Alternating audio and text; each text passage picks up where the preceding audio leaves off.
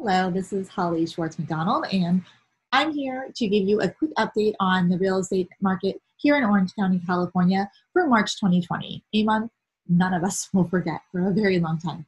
Um, this is the month that, of course, the coronavirus pandemic took us by storm, and I wanted to share some real estate figures with you just so you have a better idea of what has been going on and how our market has been responding.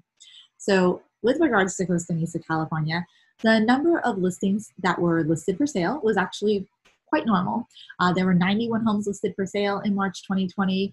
Compared that to last year when there were 106 new listings, it's pretty close.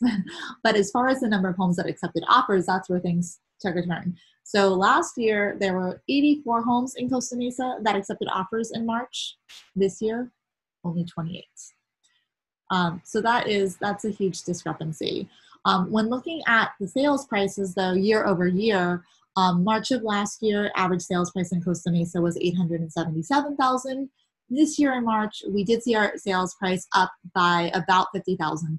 Um, average sales price was 919,000. It'll be interesting to see how prices fluctuate as we go through this time. Uh, now, looking, at Huntington Beach, there were um, there were 167 new listings in March 2020. Last year, there were 251, so that is quite quite a shift downward. The number of pending listings, just like Costa Mesa, was also down significantly. Uh, there were 69 homes that opened escrow in March. Last year, there were about 100 more homes that opened escrow in March. There were 168. So that is a very big difference.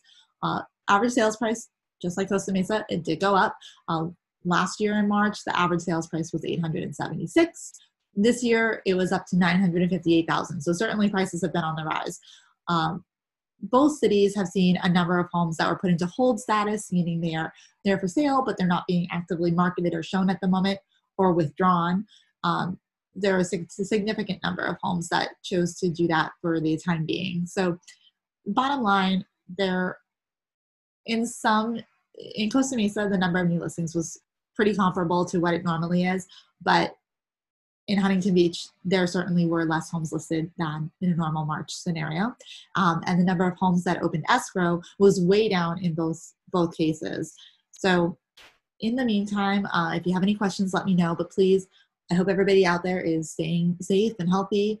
And I will keep you updated regarding how April is shaking up. Thanks.